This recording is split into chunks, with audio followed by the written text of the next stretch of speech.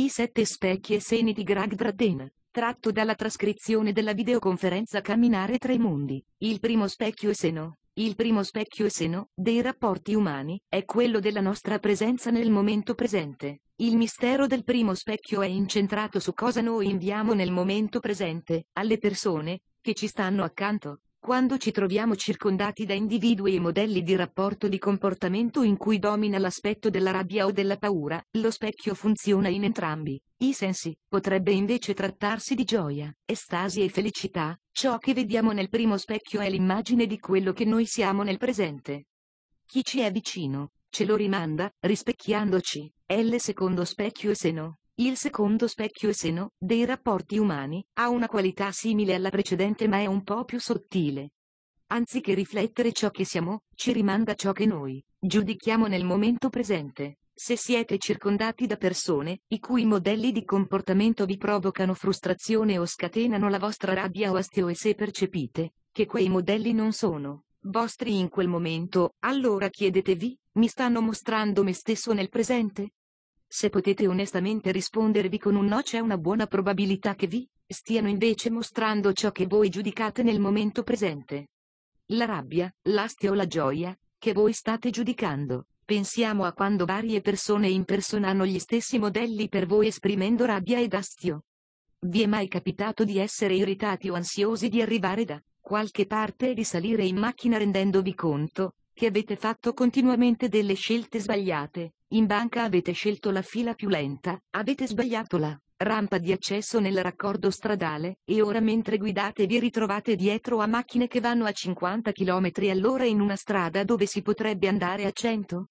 Può darsi che quelle persone vi stiano riflettendo ciò che siete in quel momento. Spesso il mistero del primo specchio rappresenta esattamente ciò che sta succedendo. A volte siamo in presenza di persone che ci rimandano come siamo in quel momento e, altre volte non è così. Allora la gente dice che gli specchi non funzionano, invece funzionano. Se abbiamo la saggezza di comprendere cosa ci stanno dicendo, alcuni anni fa ho avuto la rarissima possibilità di vedere entrare nella mia vita tre persone diverse durante lo stesso mese. Avrebbe dovuto essere un segno, premonitore abbastanza chiaro per me. Quando tre nuovi rapporti umani, diversi fra loro, si presentano durante lo stesso mese, è come una bandierina, che dice, qui, Sta per accadere qualcosa. Credeteci. Uno era un potenziale rapporto amoroso, un altro era un potenziale rapporto d'affari, il terzo era un misto di amicizia e di lavoro. Fu ciascuna di quelle tre persone a venire da me, ognuno di loro mi aveva cercato. Questo avrebbe dovuto essere il secondo segno. Il rapporto amoroso riguardava una persona con cui avevo lavorato, avevamo passato molto tempo insieme scoprendo vari interessi comuni e stare con lei aveva senso. Per me. Non era tanto una potente attrazione magnetica, quanto la cosa giusta da fare. Il secondo rapporto, quello d'affari, era molto interessante. Ero occupatissimo a svolgere seminari a tempo pieno in quel momento e una persona, un uomo, venne da me, offrendosi di curare gli aspetti logistici del mio lavoro, il che mi avrebbe permesso di fare altre cose, che mi premevano di più, mentre lui avrebbe potuto svolgere compiti che gli riuscivano facili. Sembrava una buona idea. Il terzo rapporto era di amicizia e quasi di affari e riguardava un bravissimo falegname, che si offrì di prendersi cura della mia casa nel Nuovo Messico settentrionale. Durante l'autunno successivo quando avrei condotto un gruppo in Egitto, in effetti avevo già cominciato a cercare qualcuno che abitasse nella mia proprietà, quindi anche quella mi sembrò una cosa giusta da fare. L'uomo mi disse che gli sarebbe piaciuto stare da me in cambio di servizi di falegnameria e di custodia della casa. Tutto mi accadde quasi contemporaneamente in un periodo della mia vita in cui ero veramente molto impegnato. Io decisi di farlo in quello stesso mese ciascuno delle tre persone, che erano entrate nella mia vita, ognuna di loro cominciò a farmi impazzire. Mi facevano veramente imbestialire. C'era un modello, che mi si era presentato varie volte nella mia vita. Quando le cose mi rendevano furioso, io usavo la logica e mi dicevo, beh, sei solo stanco, hai viaggiato molto, sei sotto pressione, in questo momento, prenditi un'altra settimana di tempo forse due, per vedere come vanno le cose. Quindi partivo e l'ho fatto anche con quelle persone. Facevo un viaggio, tornavo una decina di giorni dopo e tutto era come prima, e allora ripartivo. Avevo una routine a quell'epoca. Facevo un viaggio, Tornavo all'aeroporto di Albuquerque, mi fermavo al bancomat per prelevare dei contanti, andavo a prendere i miei animali dal veterinario, che li aveva in custodia, tiravo fuori l'auto dal parcheggio, facevo il pieno e guidavo per quattro ore fino a casa nel Nuovo Messico del Nord. Durante quello specifico viaggio iniziai la solita routine e non andai molto lontano perché, arrivato al bancomat dell'aeroporto di Albuquerque, alle 5 di pomeriggio, mi vidi recapitare il messaggio, che sul mio conto non c'era più niente. Sapevo che si trattava di un errore, e che il conto era ben fornito, perché mi era appena stato concesso un permesso di costruzione per un'attività da realizzare sulla mia proprietà ed avevo molti soldi a disposizione per questo. Quindi decisi che avrei verificato tutto il lunedì mattina successivo. Guidai fino a casa il lunedì mattina, puntualmente chiamai la banca dove mi dissero che non solo non c'era denaro sul conto, ma che avevo anche 71 assegni scoperti e, che per ciascun assegno c'era una penale da pagare. Poi mi chiesero quando sarei potuto passare in banca a discutere la situazione. Ci andai immediatamente uno di quegli assegni era all'ordine del mio caro amico Ierome e questo è il modo in cui ci siamo conosciuti. Andai in banca e chiesi cosa era successo.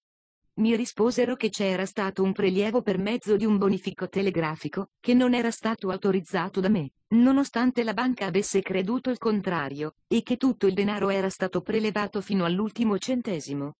Quindi gli assegni che avevo già emesso erano scoperti e mi erano stati addebitati. Quando qualcosa del genere accade non c'è nessun senso nel razionalizzare. Non si può farci niente. Siccome non avevo neanche i soldi per fare benzina e per riprendere i miei animali dal veterinario, fui costretto a cercare di rendermi conto pienamente di cosa mi stava succedendo. Ricordo di aver pensato, santo cielo. Qui sta succedendo qualcosa di grosso. Avevo appena terminato di svolgere una serie di seminari nel nord, ovest del Pacifico durati circa un mese e gli organizzatori di quei programmi mi stavano dando mille ragioni per cui non c'erano ancora fondi per pagarmi.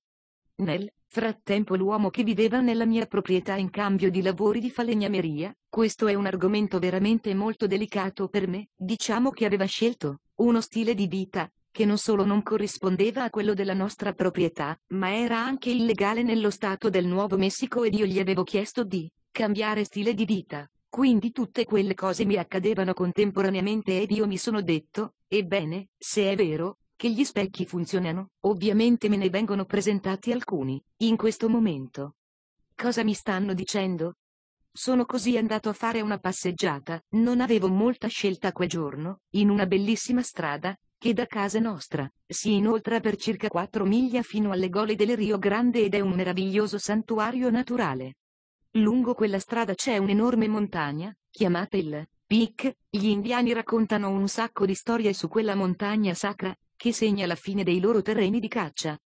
Avevo immaginato dei libri e condotto interi seminari su quella strada e poi ero andato a casa e li avevo trascritti al computer. Mi chiesi nuovamente, se gli specchi funzionano, che aspetto di me stanno riflettendo queste persone? Sapevo che avrei dovuto trovare un filo conduttore C-O-M-U-N-E, trattino. Quindi cominciai ad analizzare cosa rappresentava per me ciascuno di quei rapporti. Analizzai molte possibilità e quando ebbi finito sapevo che ciascun rapporto era collegato ad elementi di onesta, integrità e fiducia. Quindi mi sono detto, se questo specchio è vero, se queste persone stanno riflettendo tali modelli di comportamento, mi stanno forse mostrando che in qualche modo io manco di onestà, di integrità o di fiducia? Ed ancora prima che io formulassi quella frase ero certo che non fosse così, perché quelle erano proprio le qualità che applicavo nel mio lavoro. Esattamente quelle. Allo stesso tempo ebbi un'illuminazione, così potente e sottile, che mi fece realizzare questo, gli specchi non mi stavano mostrando, come avevo pensato, un riflesso di ciò che io ero nel momento presente, mi stavano invece proponendo un'immagine più sottile, lo specchio di ciò che io giudicavo in quel momento, lo specchio di come giudicavo proprio in quel momento. Solo questo, avevo in me una fortissima carica sull'onestà, integrità e fiducia, era una carica tale che non ero disposto a permettere che esistesse in altre persone. Quando avete una carica emotiva su qualcosa, che cosa vi promette? Promette che la incontrerete nella vita. Io avevo quella carica, ciascuna delle tre persone, che erano entrate nella mia vita, ora lo so, era un potente ed abile maestro, che impeccabilmente eretto uno specchio davanti a me, riflettendo le mie cariche più potenti. Il processo fu relativamente breve, anche se sarebbe potuto durare per anni. Forse era stato davvero così, forse quegli specchi mi erano già stati mostrati per molto tempo a dei livelli tanto sottili, che non li avevo riconosciuti. Poi erano divenuti sempre meno impercettibili, fino a che, successe qualcosa che non avevo potuto ignorare. In quel momento della mia vita mi fu mostrato quello specchio, in quel momento avevo davanti a me il secondo mistero dei rapporti umani ciò che giudichiamo nel momento presente. A proposito dell'uomo, che si era offerto di organizzare i miei seminari, l'attimo in cui ci eravamo conosciuti a casa di un comune amico in California del Nord, era successo qualcosa di interessante. Non ci eravamo ancora incontrati di persona. Avevamo solo parlato per telefono e appena lo vidi gli posi una domanda che faccio, raramente, qual è la sua data di nascita? Rispose 28 giugno 1954. Ed io ne fui molto stupito perché era anche la mia.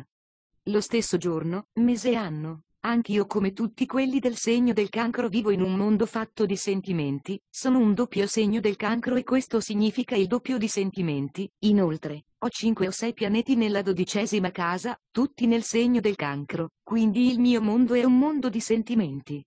Il mio sentiero di vita è stato quello di conciliare il sentimento con il mondo accademico e scientifico attraverso il lavoro nelle imprese e nelle università.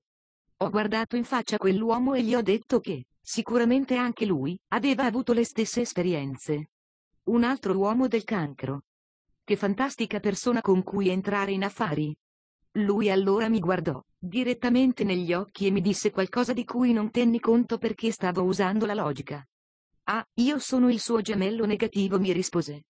Io non ascoltati, perché la logica mi diceva sta solo scherzando, però provavo una strana sensazione qui, anche con l'uomo che si trasferì nella mia proprietà per prendersene cura in cambio di ospitalità provai una certa sensazione ma non ci feci attenzione, perché la mia logica diceva, non lo conosci nemmeno, perché lo giudichi? Anche nel rapporto amoroso provai una certa sensazione e la mia logica mi disse, beh, quella sensazione ti viene dall'ultima volta in cui hai sofferto, quindi dai una possibilità a questo nuovo rapporto. La ragione per cui vi racconto queste storie è che in ciascuna di esse provai una sensazione immediata, e che ciascuna mi procurò più di una lezione, come ho detto, anche ad altri che hanno trovato questi esempi molto stimolanti.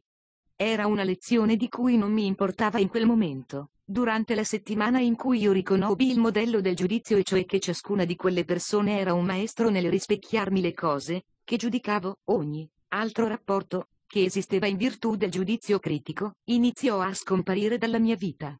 È un effetto a catena. Ve lo dico perché so che funziona proprio così. Se vivete un certo modello in un'area della vostra vita, esso rispunta anche altrove una volta, che viene guarito ed appianato, anche in una sola area, guarisce, dappertutto, simultaneamente, perché la nostra natura è oleografica. La consapevolezza funziona così, si riflette su moltissimi livelli diversi. Il rapporto con l'uomo che si era offerto di entrare in affari come non funzionò affatto, anche se io sentivo di avergli dato ampie opportunità. In effetti però funzionò bene perché mi offrì uno specchio, anche se non sapevo cosa mi stava mostrando. Quindi un bel giorno chiamai quell'uomo al telefono e gli dissi, non intendo più lavorare con te. La conversazione in realtà fu un po' più elaborata, ma non voglio dilungarmi troppo. Riagganciai il ricevitore e nel farlo mi resi conto di aver appena disdetto tutti i miei programmi, tutte le mie fonti di reddito e per i sei mesi successivi. Era un sabato pomeriggio e passai tutto il resto del giorno e la domenica a riflettere sul da farsi.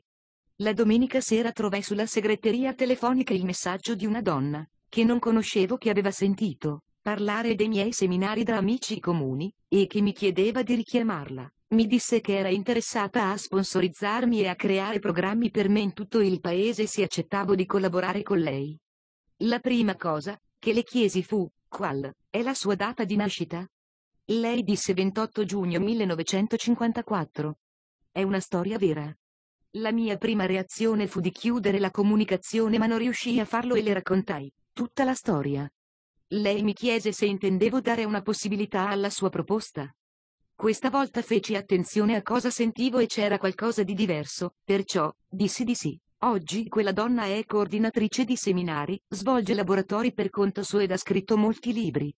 Si chiama Johan Carroll Cornack, se la conoscete. Io non ho permesso al primo rapporto di inquinare il secondo perché sono riuscito ad aver fiducia in ciò che sentivo e a capire il significato della sensazione che provavo e si è realizzato fra noi un rapporto molto forte.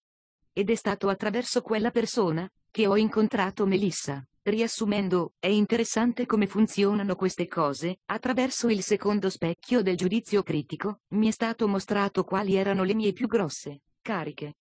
Non tanto cosa io ero, quanto ciò che io giudicavo nel momento presente ed ho imparato una grande lezione sul discernimento e sulla fiducia. È stata una lezione relativamente poco gravosa in paragone di ciò che è venuto immediatamente dopo, perché ho cominciato ad avere a che fare con creditori, contratti eccetera. E attraverso il mio potere di discernimento, ho evitato seri problemi potenziali.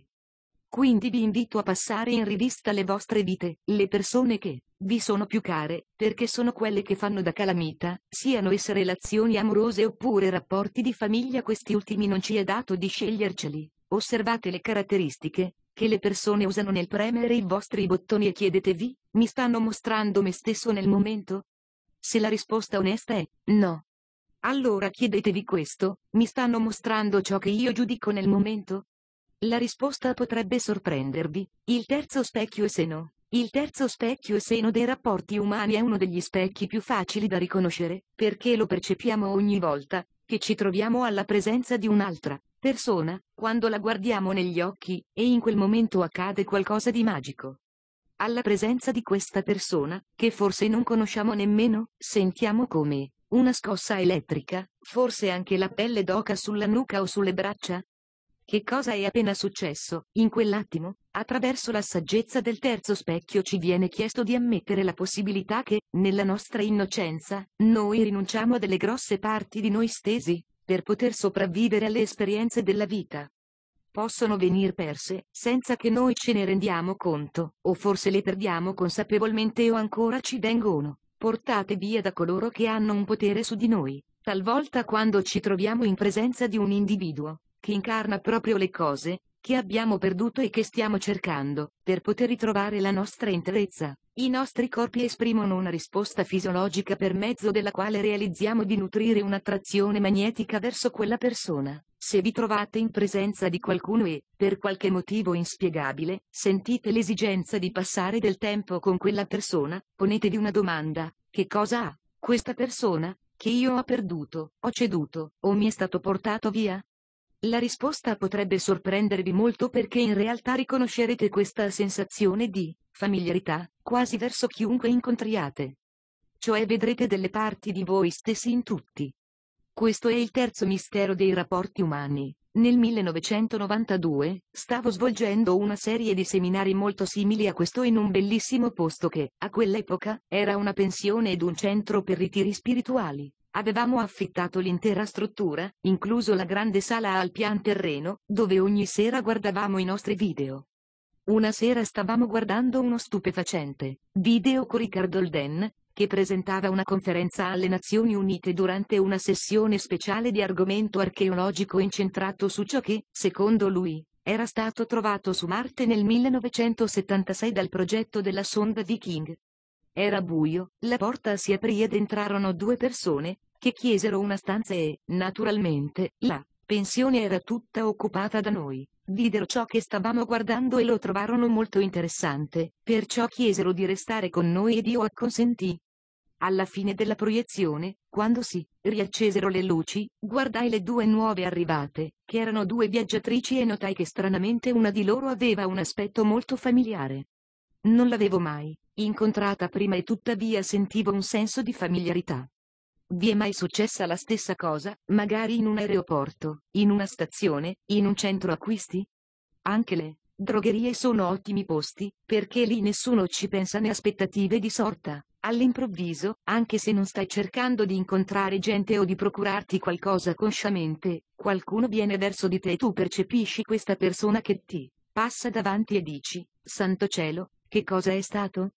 Forse i nostri occhi si incontrano e per una frazione di secondo avviene una piccola magia, scocca una scintilla di riconoscimento reciproco. Nella nostra società questo comportamento non è bene accetto, perciò spesso troviamo il modo di distaccarcene. Se siamo per strada faremo qualcosa come mandare indietro i capelli, o come fissare una gomma da masticare appiccicata sul selciato o qualunque altra cosa, che interrompa quel contatto. Che cosa succede in quel momento? Cosa succede quando guardate così qualcuno e sentite quel senso di familiarità? Ad un certo punto della mia vita ho lavorato con un gruppo di ingegneri e uno di loro provava sensazioni simili molte volte al giorno. Di regola gli accadeva con le donne. Ad esempio usciva dall'ufficio per pranzo oppure per riscuotere lo stipendio in banca o per fare qualche commissione il venerdì pomeriggio. Poi tornava, sì, sedeva immobile alla scrivania. Allora io gli chiedevo se c'era qualcosa che non andava e lui mi rispondeva, non riesco a lavorare, mi sono innamorato durante la pausa pranzo. Il mio collega si innamorava varie volte al giorno. Questo gli rendeva la vita un inferno. Questo è il modo in cui gli specchi si presentano a noi e questa è la ragione per cui vi racconto delle storie vere. Gli succedeva così spesso che noi colleghi avevamo, perfino dato un nome a quell'effetto, lo chiamavamo effetto schiaffo. Lui usciva per pranzare e poi tornava e diceva sono stato schiaffeggiato cinque volte. Voleva dire, che si era innamorato cinque volte. Riprendevamo il lavoro e intanto lui faceva cose diverse come chiamare la banca dove aveva incassato l'assegno per chiedere chi era la terza impiegata da sinistra, poi le telefonava e la invitava a prendere un caffè. Lei rispondeva di sì e mentre prendevano il caffè, lui osservava la cameriera e sentiva che se ne stava innamorando. Succedeva continuamente ed era un vero problema per lui perché aveva una moglie e due bei bambini a cui voleva molto bene. Quello che vi ho narrato era un caso estremo ma ve l'ho mostrato come esempio perché è molto appropriato. Cosa succede nel momento in cui proviamo quella sensazioni? Ebbene sto per raccontarvi ciò che è accaduto a me quella famosa sera. Le luci si accesero, le donne erano lì sedute e quando guardai negli occhi una di loro ebbi la sensazione che accadesse qualcosa di magico. Lei ed io continuavamo a parlare anche dopo che tutti erano andati a dormire. Allora le chiesi se le andava di fare una passeggiata e lei acconsentì. La cittadina era così piccola, che per attraversarla bastava un minuto. C'erano un museo, un ufficio postale, una gelateria e si era visto tutto. La donna ed io abbiamo percorso quel tragitto molte volte quella sera e poi alla fine ci siamo augurati la buonanotte, senza che io le avessi chiesto come si chiamava perché pensavo che la cosa sarebbe finita lì, alla fine del seminario sarei dovuto rientrare nel Nuovo Messico, aperta parentesi quadra, chiusa parentesi quadra. Il mattino in cui dovevo partire, aperta parentesi quadra, chiusa parentesi quadra. Mentre guidavo mi fermai ad un semaforo, alzai lo sguardo e all'angolo vidi proprio la donna, che avevo conosciuto la sera prima. Lo vedete questa storia alla fine ha la sua coerenza. Lei mi vide e venne verso la mia macchina per salutarmi, intanto il semaforo era diventato verde e la gente aveva cominciato a suonare il clacson. Allora le chiesi se aveva già pranzato e lei mi disse di no, quindi la invitai a salire in macchina. Andammo a comprare le ultime cose per il gatto e poi ci recammo in un delizioso piccolo caffè quasi fuori città, dove ci sedemmo a parlare, e parlammo, parlammo, parlammo restammo lì tutta la mattina. La gente, che era venuta a far colazione se ne andò il caffè diventò molto tranquillo, poi arrivarono i clienti dell'ora di pranzo, poi anche loro se ne andarono e ci fu di nuovo molta quiete. La donna doveva ripartire per la costa orientale ed io per il Nuovo Messico. Alla fine ci dicemmo, beh, visto che dobbiamo partire sarà meglio muoverci. Lei mi accompagnò alla macchina, le diedi un bacio d'addio sulla guancia e ancora oggi. Non so quale sia il suo nome, Mentre la guardavo allontanarsi mi successe questo, sentii una grande tristezza dentro di me perché iniziavo già a sentire la sua mancanza. La osservai partire a bordo della sua auto e vidi le luci posteriori sparire lungo la strada. Dieci anni fa se mi fosse successa una cosa simile avrei detto che mi ero innamorato e avrei fatto qualcosa di molto romantico, come saltare in macchina per inseguirla, fermarla sull'autostrada e dirle cosa provavo per lei. Sapevo che mi stava succedendo qualcosa ma sapevo anche che non si trattava di questo. Rimasi seduto in macchina e all'improvviso cominciarono a scendermi sul viso delle grosse lacrime. Ricordo di aver pensato, santo cielo, questa deve essere una lezione veramente potente. Prima c'era stata quella sensazione di familiarità, ora c'era tristezza perché la donna stava partendo. Mi limitai a chiudere gli occhi ed a pormi una domanda come faccio spesso, dicendo, Padre chiedo che mi venga data la saggezza necessaria per comprendere la sensazione che prova il mio corpo. Quando si fa una domanda come quella di solito ci si aspetta una risposta, invece io ottenni un'altra domanda, mi stavano facendo lavorare. La domanda era semplice, che cosa questa donna, che ti manca? Io non avevo pensato al cosa sapevo solo, che mi mancava. Cominciai a riflettere su tutto ciò di cui avevamo parlato e ciò che avevamo condiviso la sera prima e al caffè e capii che quello che mi mancava veramente era la sua innocenza, la sua capacità di stupirsi delle cose. Era qualcosa di molto importante per me in quel momento della mia vita, perché ero passato attraverso il mondo accademico, il viaggio sacro nell'accademia e avevo trascorso molto tempo nel mondo aziendale. Tutto questo ha un costo, lo sapete anche voi. Cioè nel ricordare e nello sviluppare la conoscenza noi perdiamo l'innocenza. Così quando capii che cosa mi mancava di quella donna, seppi che non me ne ero innamorato e che lei in poche ore era stata capace di reggere davanti a me lo specchio, di una grande parte di me stesso, che avevo perduto per ottenere ciò che mi ero prefisso di avere nella mia vita. Credo che l'abbiamo fatto tutti in una certa misura. Tutti abbiamo ceduto consciamente delle grosse parti di noi stessi oppure le abbiamo perse senza neanche accorgercene, o ci sono state portate via da coloro che hanno avuto potere su di noi. E tutto questo l'abbiamo fatto per sopravvivere. Forse oggi più che mai in questa fase dell'umanità e della storia geologica, noi chiediamo a noi stessi di riportare a casa quelle parti di ognuno di noi per poterci conoscere nella nostra interezza e per avere l'esperienza di vita che scegliamo. Quella fu un'esperienza fantastica per me. Sapevo che quella donna mi aveva mostrato il terzo specchio e seno dei rapporti umani, quello che abbiamo perso, ceduto, che ci è stato portato via. La verità di questa esperienza è che se siamo veramente sinceri gli uni con gli altri, veri gli uni con gli altri, possiamo vedere e sentire una porzione di noi stessi, semplicemente guardando negli occhi quasi tutte le persone che incontriamo. Possiamo cioè provare la sensazione del riconoscimento, della familiarità. Vi invito a percepire in voi questa sensazione.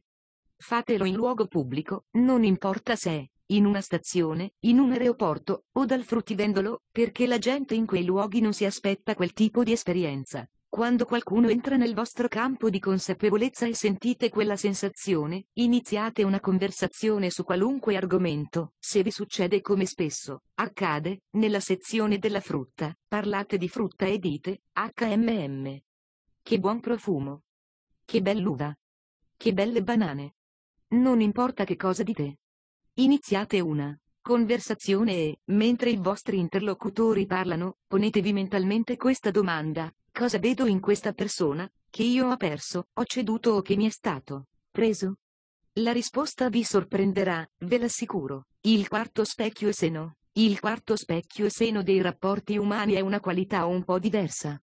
Spesso nel corso degli anni ci accade di adottare dei modelli di comportamento che poi, diventano tanto importanti da farci riorganizzare il resto della nostra vita per accoglierli. Sovente tali comportamenti sono compulsivi, creano dipendenza. Il quarto mistero dei rapporti umani ci permette di osservare noi stessi in uno stato di dipendenza e compulsione. Attraverso la dipendenza e la compulsione, noi rinunciamo lentamente proprio alle cose a cui teniamo di più. Cioè mentre le cediamo, poco a poco vediamo noi stessi lasciare le cose che più amiamo.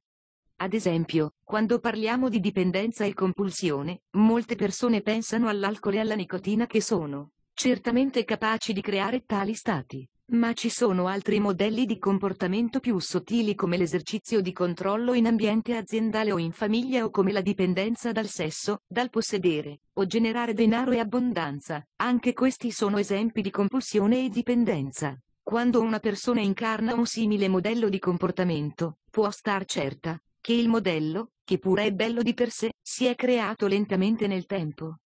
Poco a poco, noi rinunciamo alle cose che ci sono più care. Se riorganizziamo le nostre vite per far posto al modello dell'alcolismo o all'abuso di sostanze forse stiamo rinunciando a porzioni della nostra vita rappresentate dalle persone che amiamo, dalla famiglia, dal lavoro, dalla nostra stessa sopravvivenza. Il tratto positivo di questo modello è che può essere riconosciuto ad ogni stadio, senza bisogno di arrivare agli estremi perdendo tutto. Possiamo riconoscerlo, guarirlo, e ritrovare la nostra interezza ad ogni stadio. Alcuni anni fa ho condotto, nel sud-ovest del paese, un seminario composto da 40 uomini, tutti uomini, che diede ottimi risultati. Alcuni dei partecipanti erano dei cowboys, dei ragazzi, che non si sarebbero tolti il cappello e gli stivali per nessun motivo al mondo. Mi dissero, posso abbracciare un uomo in questa stanza, ma non lo farò mai là fuori.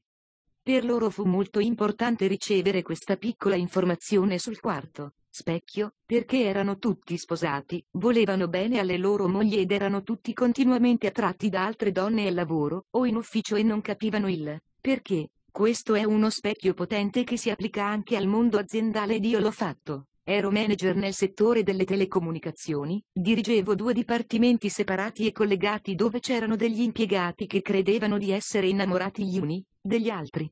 Di per sé non era un problema, anche se causava grossi sprechi di tempo, pause pranzo molto lunghe, un sacco di gomme forate, molti bambini ammalati, nonni deceduti. Io sospettavo che si trattasse proprio di questo.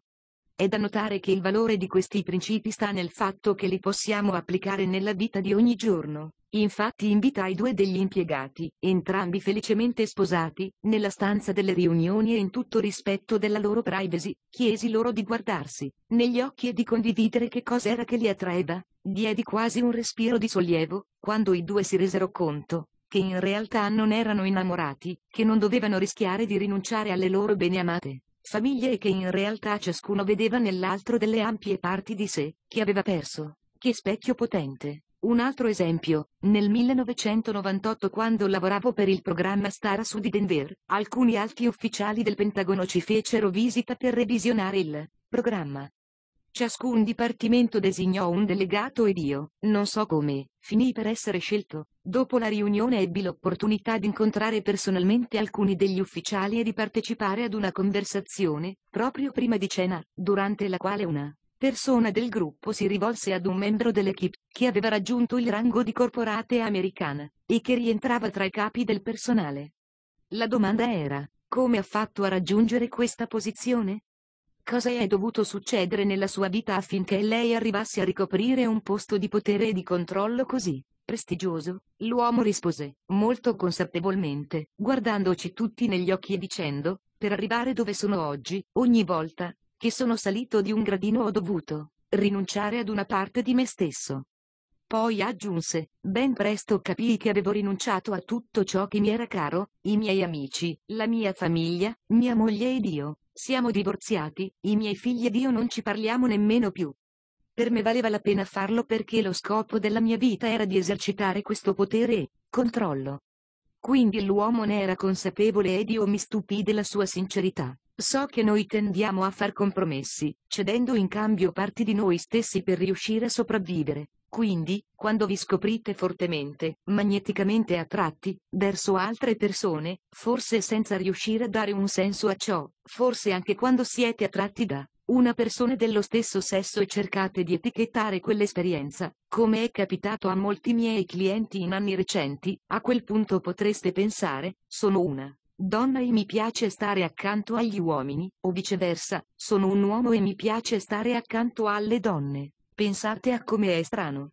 Siamo essenzialmente delle anime asessuate, non siamo né maschi né femmine, finché non entriamo nel corpo fisico, poi, arrivando nel mondo della polarità, dobbiamo scegliere un genere o l'altro e nello scegliere, rinunciamo automaticamente a quello che abbiamo escluso, siccome io sono un maschio. Sono arrivato in questo mondo scegliendo di polarizzarmi in un corpo maschile, nonostante la mia anima sia asessuata, cioè maschile e femminile insieme, quindi ho messo la mia parte femminile in secondo piano. Le donne invece mettono in secondo piano la loro parte maschile. Ecco perché può accadere di sentirsi inspiegabilmente attratti verso qualcuno che ha una polarità opposta alla nostra. Alcuni mesi fa ho svolto un seminario dove alcuni mi hanno chiesto, cosa significa quando si è attratti dalla stessa polarità? Io credo che lo specchio funzioni.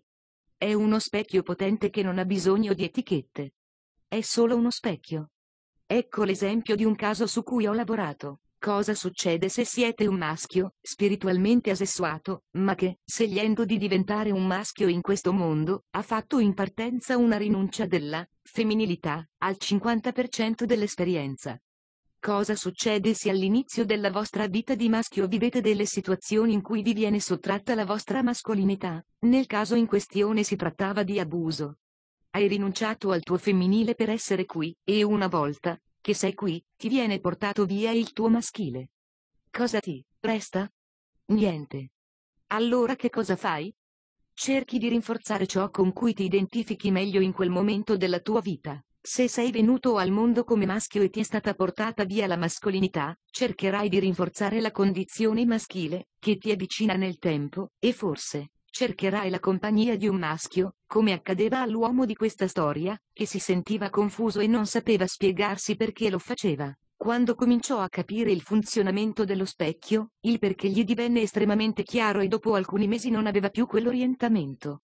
Se l'avesse avuto sarebbe andato bene lo stesso perché, finché non ci mettiamo sopra delle etichette, stiamo semplicemente parlando di modelli di energia. Non è interessante come funziona? Cerchiamo di rafforzare ciò che abbiamo perso o ceduto o che ci è stato portato via. Vi invito a porre attenzione alla vostra vita e al tipo di persone verso cui vi sentite fortemente attratti e a chiedervi che cosa possiedono di voi che è stato perso o ceduto o preso. Pensiamo ai rapporti amorosi. Quante volte avete sentito parlare di coppie che si formano a causa di questa carica e poi la carica scompare e i due si rendono conto di non essere più innamorati? In realtà forse il loro amore li ha serviti così bene, cioè sono riusciti a tal punto a guarire in se stessi ciò che hanno visto nell'altro, che non sentono nessuna carica e cominciano ad incarnare l'interezza. Da quel momento in poi entrambi possono scegliere di continuare il rapporto sulla base di principi completamente diversi, basati sul fatto che ciascuno semplicemente riesce a godere della compagnia dell'altro. Il quinto specchio è seno. Nella mia opinione questo modello di rapporti umani, il quinto specchio e seno, è forse il più potente in assoluto, perché credo ci permetta di vedere meglio e più profondamente degli altri la ragione per cui abbiamo vissuto la nostra vita in un dato modo. Esso rappresenta lo specchio che ci mostra i nostri genitori nel corso della nostra interazione con loro. Attraverso questo specchio ci viene chiesto di ammettere la possibilità che le azioni dei nostri genitori verso di noi riflettano le nostre credenze e aspettative nei confronti di quello che potrebbe configurarsi come il più sacro rapporto che ci sia dato di conoscere sulla terra e cioè il rapporto fra noi e la nostra madre e il nostro Padre Celeste, vale a dire con l'aspetto maschile e femminile del nostro Creatore, in qualunque modo lo concepiamo. È attraverso il rapporto con i nostri genitori, che essi ci mostrano le nostre aspettative e credenze verso il rapporto divino. Per esempio se ci troviamo a vivere un rapporto con genitori da cui ci sentiamo continuamente giudicati o per i quali anche fare del nostro meglio non è mai abbastanza, è altamente probabile che quel rapporto rifletta la seguente verità, siamo noi che crediamo, dentro di noi, di non essere all'altezza, e che forse non abbiamo realizzato quello che ci si aspettava da noi attraverso la nostra percezione di noi stessi fino al Creatore. Questo è uno specchio potente e molto impalpabile, che, forse più di altri, ci può svelare perché abbiamo vissuto le nostre vite in un determinato modo. Tale specchio ha avuto un impatto incredibile nella mia vita. Un impatto ricco di implicazioni. Condividerò con voi una frase, che poi studieremo da moltissime angolature, discutendo questo specchio in dettagli, perché la frase è molto ricca di significati.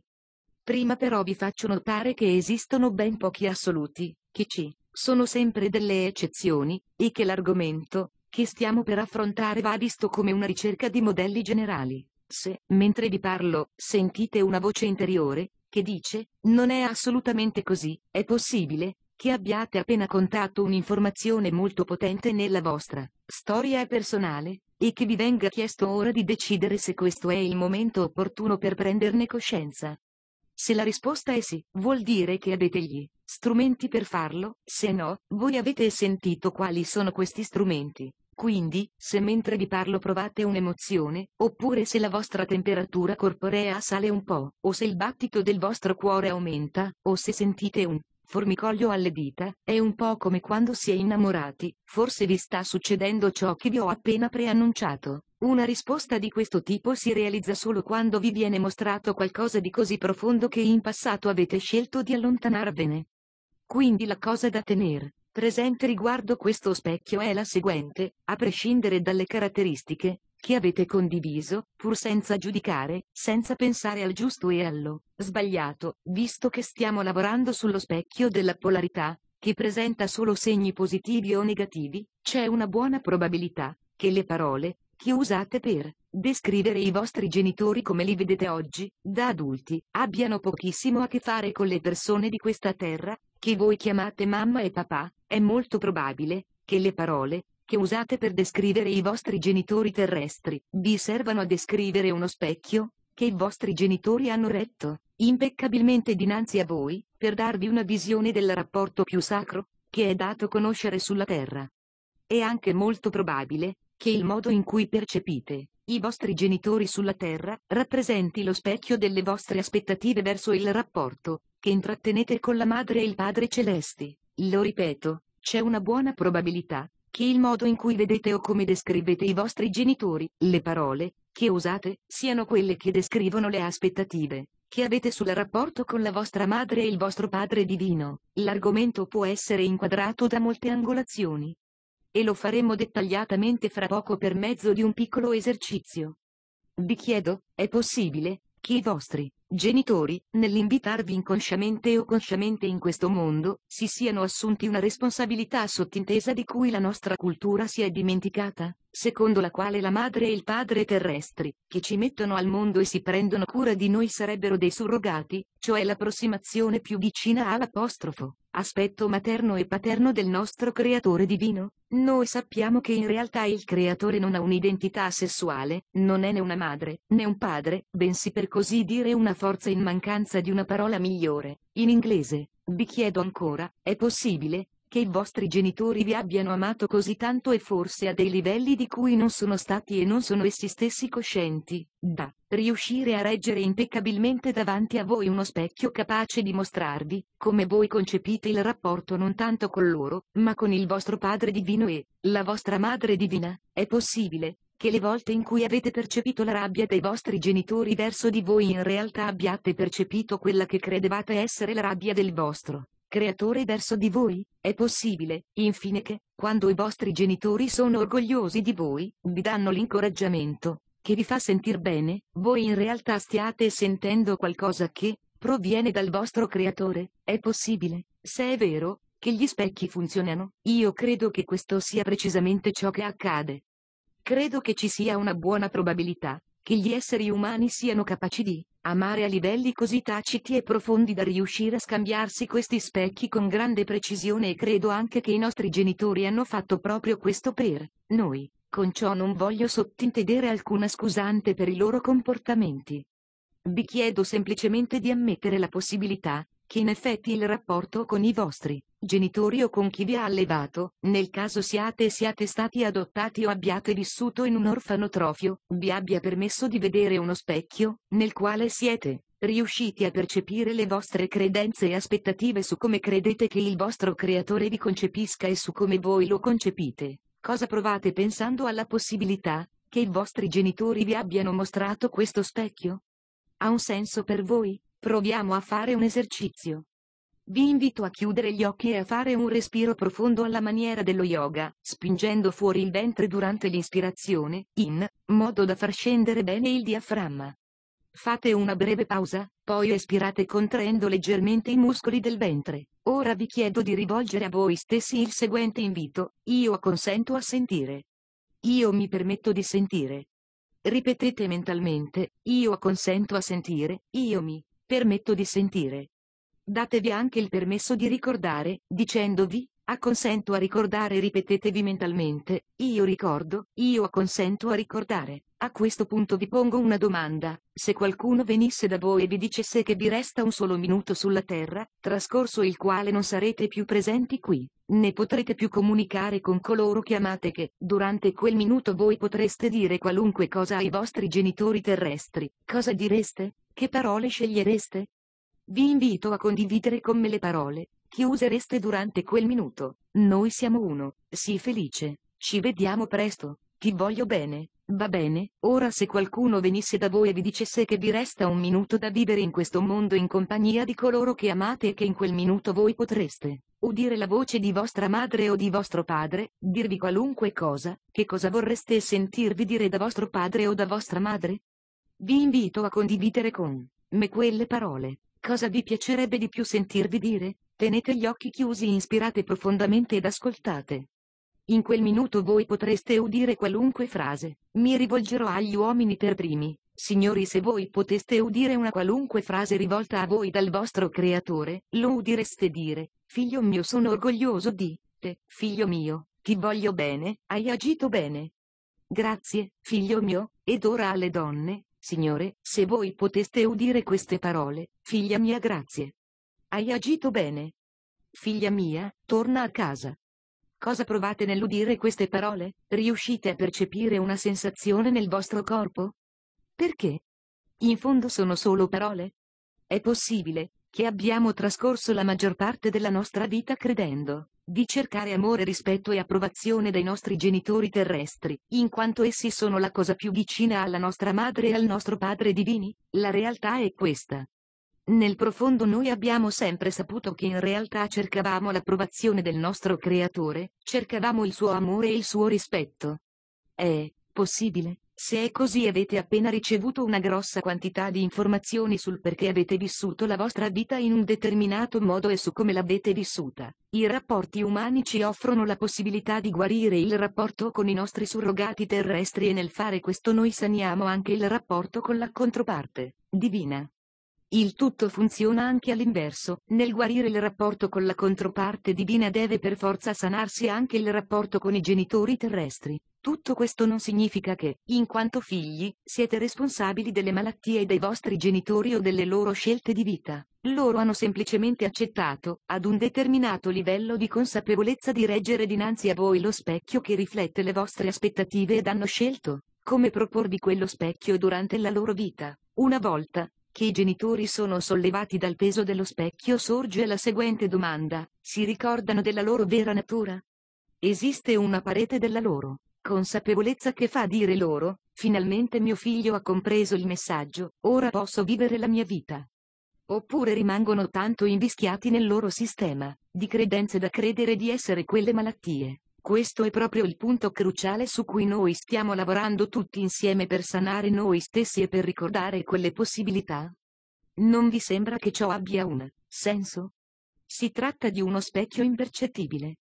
Vi ricordate che all'inizio di questa sessione ho detto che gli specchi diventano sempre più impalpabili col nostro evolverci e che dobbiamo affrontare quelli più ovvi prima di poter vedere i più sottili. Siccome si tratta di specchi, il bello è che funzionano in entrambi i sensi.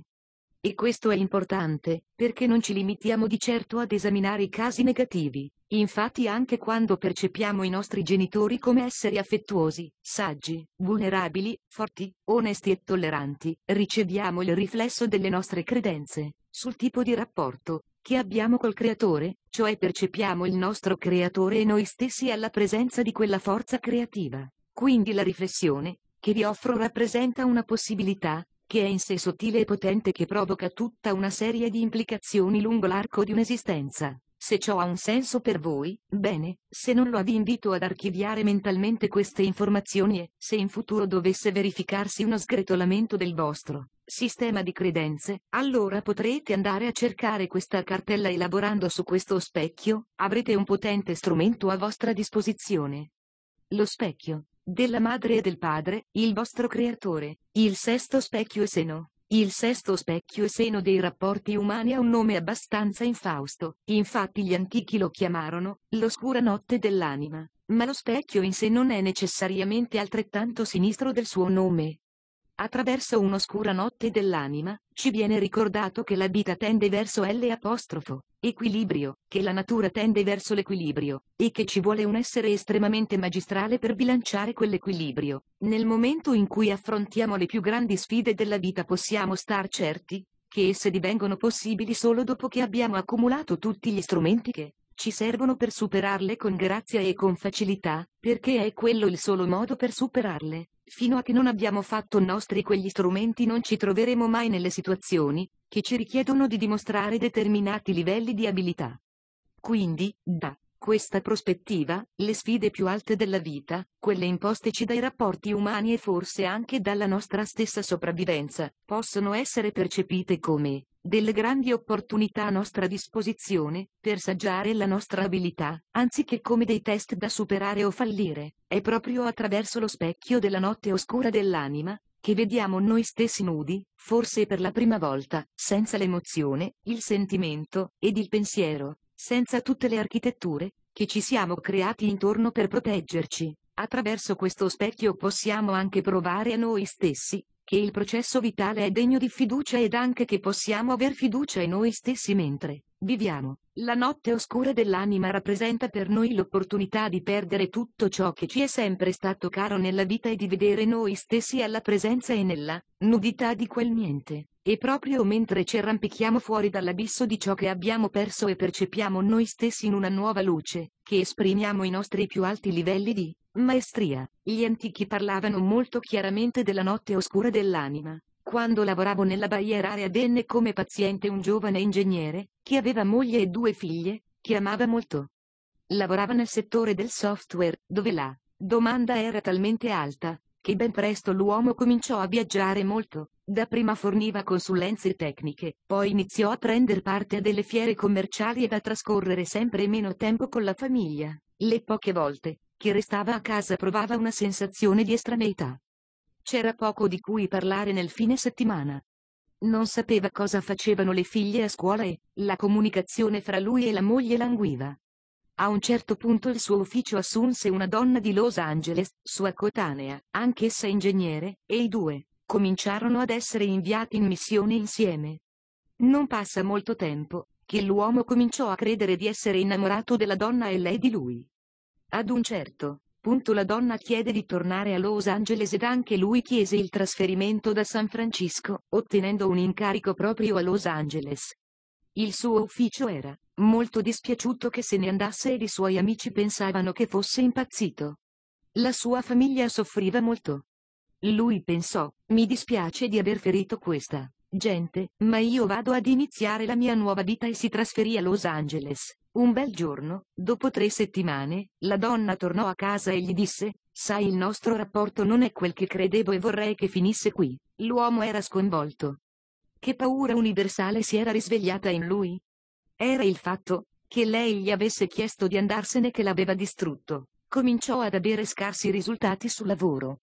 Fu mantenuto in servizio per il periodo di prova e, siccome non migliorava, alla fine gli fu chiesto di dimettersi. Si ritrovò in una città estranea, senza amici, senza gruppo di sostegno, senza stipendio né lavoro e persino sulla lista nera di altre ditte dello stesso settore. Non aveva un luogo in cui tornare, perché aveva rinunciato a tutte le cose che gli erano state care. Il suo ufficio non lo rivoleva, la sua famiglia ed i suoi amici non erano disponibili. Venne da me e mi disse, cosa diavolo mi sta succedendo? Come faccio a riprendermi la mia famiglia? Io molto sinceramente gli risposi, congratulazioni, perché il solo modo in cui qualcosa del genere è potuto succedere nella sua vita è grazie al fatto che lei ha raggiunto il suo più alto livello di maestria. Quando un essere umano conquista l'ultimo tassello di abilità, la creazione si apre dinanzi a lui che diviene libero di esprimere tale maestria in qualunque cosa abbia creato nella vita. Quando la vita è più dura, quando ci vengono poste delle sfide più alte nel campo della salute, dei rapporti umani o della sopravvivenza è perché noi stessi ci siamo creati quelle situazioni solo dopo aver accumulato tutti gli strumenti necessari a tirarcene fuori con grazia. Qualunque madre lo sa. Non ve l'ha mai detto vostra madre, che Dio non vi dà mai più problemi di quanti non riusciate a sopportarne? L'ho visto succedere mille volte, questioni di salute, malattie potenzialmente letali, implosioni emotive. So con certezza che nella vita noi tendiamo verso l'apostrofo, equilibrio e che ci vuole un grosso sforzo per riuscire a sconvolgere quell'equilibrio e siccome siamo tutti dei maestri, sappiamo bene come farlo. In quanto maestri noi abbiamo appreso come creare forte disequilibrio nelle nostre vite in modo da favorire il manifestarsi dello slancio che ci serve per dimostrare il grado di abilità da noi raggiunto. ci viene offerta così un'opportunità rispetto alla quale non abbiamo nessun punto di riferimento, nessuno a cui chiedere o da cui andare. Non avendo mai avuto prima quella data esperienza, tutto ciò su cui possiamo contare è noi stessi ed è a quel punto che ci viene chiesto di rivolgerci, verso i livelli più profondi del nostro essere, il settimo specchio e seno. Dalla prospettiva degli antichi, il settimo mistero dei rapporti umani o settimo specchio e seno era il più sottile, per alcuni versi, anche il più difficile. È lo specchio che ci chiede di ammettere la possibilità, che ciascuna esperienza di vita, a prescindere dai suoi risultati, è di per sé perfetta e naturale. A parte il fatto che si riesca o meno a raggiungere gli alti traguardi, che sono stati stabiliti per noi da altri, siamo invitati a guardare i nostri successi nella vita senza paragonarli a niente. Senza usare riferimenti esterni di nessun genere, il solo modo in cui riusciamo a vederci sotto la luce del successo o del fallimento è quando misuriamo i nostri risultati, facendo uso di un metro esterno. A quel punto sorge la seguente domanda, a quale modello ci stiamo rifacendo per misurare i nostri risultati? Quale metro usiamo? Nella prospettiva di questo specchio ci viene chiesto di ammettere la possibilità che ogni aspetto della nostra vita personale, qualsiasi aspetto, sia perfetto così, com'è. Dalla forma e peso del nostro corpo ai nostri risultati in ambito accademico, aziendale o sportivo. Ci renderemo conto insieme che, in effetti, questo è vero, e che un risultato può essere sottoposto a giudizio solo quando viene paragonato ad un riferimento esterno. Siamo quindi invitati a permettere a noi stessi di essere il solo punto di riferimento per i risultati che raggiungiamo. Gli antichi consideravano l'ultimo specchio come il più impercettibile e per illustrarvelo vi racconterò un paio di storie. Verso la fine del mio periodo aziendale condividevo l'ufficio con una collega, perché lo spazio di lavoro a disposizione era limitato. Avevamo mansioni molto diverse, siccome non c'era competizione fra noi, parlavamo e pranzavamo insieme e spesso, diventando ottimi amici. Un giorno, tornato in ufficio dopo la pausa pranzo, la vidi sbiancare e sedersi mentre ascoltava i suoi messaggi in segreteria. Le chiesi cosa fosse successo e lei mi raccontò una storia, che io sto per raccontare anche a voi al fine di illustrare il settimo specchio e seno. La mia collega aveva un'amica, sua coetanea, madre di una ragazza, che si era diplomata un paio di anni prima. Era una bellissima ragazza, piena di talento, molto sportiva, brava a scuola, dotata di ottime capacità artistiche, che aveva deciso, d'accordo con i genitori, di fare la modella dopo il diploma. Dopo aver svolto alcuni ottimi servizi da modella ed aver frequentato una scuola specializzata di New York aveva completato un'altra serie di incarichi e stava avviandosi verso una carriera di successo. Finiti quei primi servizi le agenzie cominciarono a dirle che per quel tipo di lavoro avrebbe dovuto cambiare un po' il suo aspetto. Inizialmente le suggerirono di intervenire su cose semplici come il giro vita e la misura del seno, che venne aumentata per mezzo di un intervento chirurgico. I suoi genitori erano d'accordo, perché sapevano che la professione lo richiedeva. Non passò molto tempo, che le agenzie cominciarono ad esigere forme più estreme di cambiamento. Per esempio, quando la ragazza sorrideva aveva una sovraocclusione, che era pur gradevole da vedere, e le fu detto che una modella non poteva permetterselo e le chiesero di farsi operare. Lei obbedì, le sue mascelle vennero rotte e ricomposte immobilizzate con strumenti metallici, ma, onestamente, io ho visto foto di prima e dopo l'intervento, c'era ben poca differenza. Mentre le mascelle erano immobilizzate, la ragazza dovette limitare la sua dieta e dimagrì molto, il che di solito è desiderabile per una modella. In seguito alla perdita di peso le sue costole inferiori cominciarono ad essere più visibili. La gente del suo ambiente disse alla ragazza, che non era un problema, sì, poteva risolvere tutto chirurgicamente. Infatti la ragazza si sottopose ad un intervento in cui le vennero asportate le costole fluttuanti inferiori. E a quel punto, cominciò a succederle qualcosa. Forse sapete già che il perso corporeo attraversa delle fasi. Io stesso sono stato un podista a livello agonistico, per molti anni c'erano periodi in cui potevo mangiare qualunque cosa senza riuscire ad aumentare di peso, mentre in altri periodi bastava semplicemente pensare al cibo per ingrassare. È come se il corpo entrasse in una sua fase.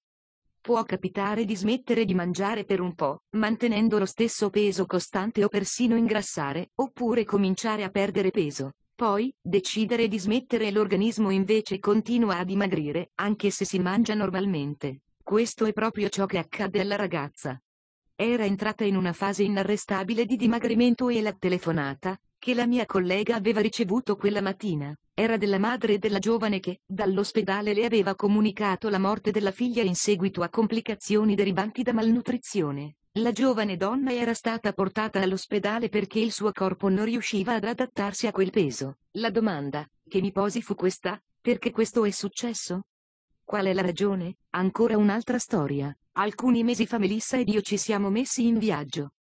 Per partire da casa nostra bisogna prendere in tutti i modi l'aereo ad Albuquerque ed usando certe compagnie aeree, di cui non faccio il nome, bisogna passare per Dallas prima di poter andare da qualunque parte. Quindi quando andavo a Toronto, dovevo volare fino a Dallas, per arrivare a destinazione o a Kansas City per arrivare a Dallas. Se siete stati all'aeroporto di Dallas sapete che è enorme, e che c'è una rete tranviaria trattino. Teoricamente, quando funziona per portare i passeggeri da un terminal all'altro e, se funziona, è un'ottima rete. Normalmente succede questo, si arriva all'uscita. No se si deve andare all'uscita 44 che è distante mezzo miglio, Quel giorno eravamo in attesa dei tram ai piedi di una lunga scala mobile e davanti a noi c'era una coppia di anziani. Una donna e un uomo, apparentemente duro di udito. I due erano impegnati in un fitto dialogo in cui esprimevano giudizi sulla gente. Sembrava essere la loro attività abituale, tanto erano a loro agio nel farlo. Mano a mano, che arrivava qualcuno dicevano, to. Guarda quello come è vestito, Oppure guarda quella lì, hai visto che orecchini? A un tratto, con la coda dell'occhio, ho visto scendere dalla scala mobile una donna molto grassa. Una volta avevo un cliente, che pesava 200 kg e so che quella donna poteva pesare sui 180 kg.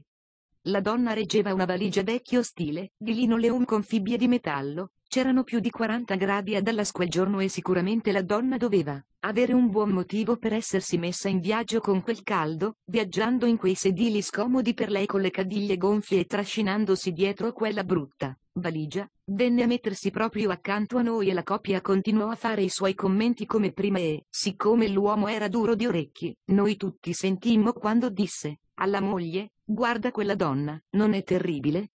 Perché non fa qualcosa per se stessa? Si dovrebbe vergognare di farsi vedere in giro in quello stato. Era una rara opportunità. Io ero qui, la coppia era qui e la donna grassa era lì.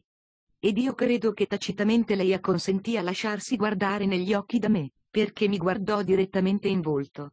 Anch'io la guardai direttamente negli occhi e lei non disse una parola, ma so che aveva udito tutto ciò che era stato detto. Stette zitta e mentre aspettavamo il tram i suoi occhi si riempirono di lacrime divenne rossa in viso ed era chiaro che stava tenendo duro per non piangere. Quel commento l'aveva ferita. Salimmo sul tram. La coppia si mise accanto a me e scambiammo quattro chiacchiere. Erano persone per bene, non avevano intenti malevoli, avevano solo quell'abitudine inconscia a criticare. In quel momento seppi che avevamo avuto tutti una rara opportunità. La donna aveva avuto l'opportunità di sentirsi giudicare, la coppia aveva avuto l'opportunità di giudicare qualcuno ed io avevo avuto l'opportunità di esserne testimone. Entrambe le storie illustrano il settimo mistero e seno dei rapporti umani, il mistero del ricercare la perfezione nell'imperfezione della vita. La giovane donna, che aveva perso la vita, con quali standard si misurava? L'avevano fatta sentire imperfetta e l'avevano costretta a cambiare il corpo, che le era stato dato in questa vita. Che metro aveva usato? Quanto alla coppia, che aveva percepito la donna come grassa e a me, che la descrivo come tale a voi adesso, fino a che non paragonate la vostra esperienza di vita ad un referente esterno, come potete non essere perfetti? Ciò che vi raccomando è questo, siate consapevoli del modello a cui vi rifate per misurare i vostri risultati. Che metro usate nella vita? In base a che cosa distinguete fra la vostra riuscita ed il vostro fallimento? Mettiamola così, io potrei darvi un foglio con una lista di criteri e dirvi di parlarmi delle vostre abilità sportive, delle vostre abilità accademiche, comunicative o amorose. Chiedere, siete dei bravi amanti? È sempre una buona domanda. Non vi concederei più di 15 secondi per darmi una risposta, perché, a prescindere da cosa risponderete, se vi siete descritti come esseri meno che perfetti, a che cosa vi siete paragonati? Come fate a dire che state facendo qualcosa di non perfetto a meno? Che non facciate riferimento a qualcosa che sta al di fuori di voi stessi? Ne parlavamo proprio ieri quando sono andato nella sala proiezioni per vedere la registrazione di questo video, che i tecnici erano riluttanti a mostrarmela perché ci apostrofo. Era la sensazione, che avrei potuto essere critico verso me stesso. Se io incarno questo specchio, se io vi do il meglio di me nel momento presente, il risultato è perfetto, fino a quando non mi paragono a qualcun altro. È perfetto, è il meglio, che può essere in questo momento. Questo per gli esseni è il nodo più delicato, perché siamo così pronti a giudicare noi stessi. Siamo noi i nostri critici più aggrediti, quindi vi invito ad esaminare la vostra vita ed a individuare le aree in cui sentite di non essere felici di voi stessi. Questo può accadere soltanto se non avete fatto del vostro meglio oppure se avete fatto del vostro meglio e vi siete paragonati a qualcun altro. Che metro usate? Nella nostra cultura, che metro usiamo? Noi veniamo paragonati a quest'uomo, nota della redazione, indica l'immagine di Gesù. Sapete che cosa ha detto quest'uomo quando era qui? Disse, voi pensate che le cose, che sto facendo io siano fantastiche, allora aspettate di vedere quello che sarete capaci di fare voi fra duemila anni. Sto parafrasando, un po'. Disse anche, non mettetemi su di un piedistallo, voi siete molto, molto più bravi di me se realizzate il potere, che c'è in voi, il potere del pensiero, del sentimento e dell'emozione di ciò che farete con esso. Questo è il settimo specchio e seno dei rapporti umani, lo specchio della perfezione. Questi sette specchi dei rapporti umani sono potenti, ci forniscono delle profonde intuizioni sul perché abbiamo vissuto la nostra vita in un certo modo e abbiamo avuto determinati rapporti umani. Gli esseni ci ricordano che ciascuno di noi passerà attraverso ogni specchio durante la propria vita, che ne siamo coscienti o no spesso ci muoveremo in molti specchi, simultaneamente perché siamo maestri e lo diventiamo sempre di più in questa vita. Nel passare attraverso gli specchi, noi procediamo attraverso la nostra vita, forse senza nemmeno renderci conto del perché facciamo queste cose. Sarebbe bello se ogni mattina si accendesse una bella luce al neon, che ci dicesse, oggi, dopo aver fatto colazione, dopo che i tuoi familiari sono usciti, puoi cominciare il tuo lavoro, sull'oscura notte dell'anima. La vita non funziona così. Siamo invitati a conoscere noi stessi in presenza di altri, attraverso i nostri rapporti umani e quando quei rapporti sono sanati, noi diventiamo il beneficio di quella guarigione e lo portiamo in noi nel sogno ad occhi aperti della vita, camminando tra i due mondi del cielo e della terra. Tratto dalla trascrizione della videoconferenza Camminare tra i mondi.